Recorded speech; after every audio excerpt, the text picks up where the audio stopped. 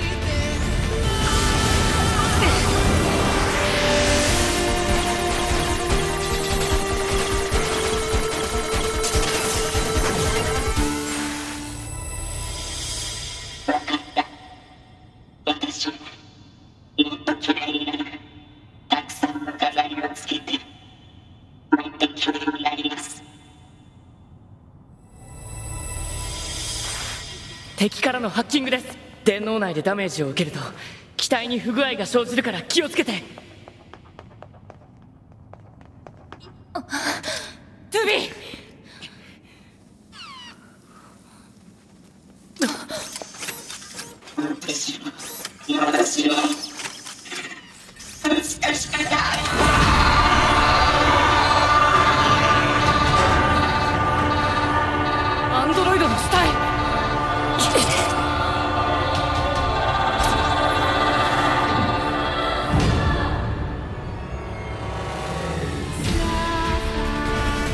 ロイドの死体を再利用して攻撃してきてる。いやこれはブラックボックス信号が確認されています。生きたまま兵器に改造されてるんです。すぐに終わらせる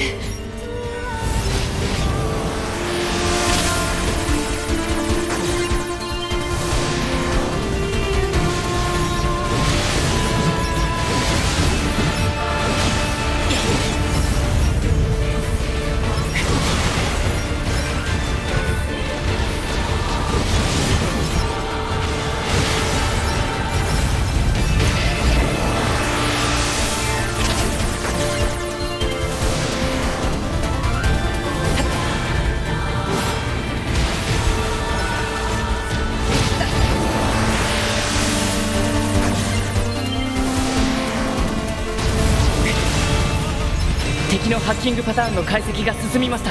僕は相手に逆ハッキングを仕掛けます。援護してください。了解。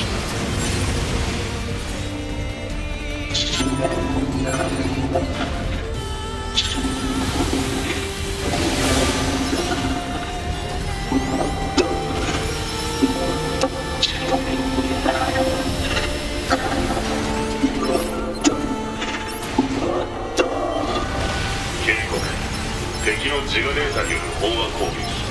速やかに破壊しないと記憶領域に重大なダメージを受ける。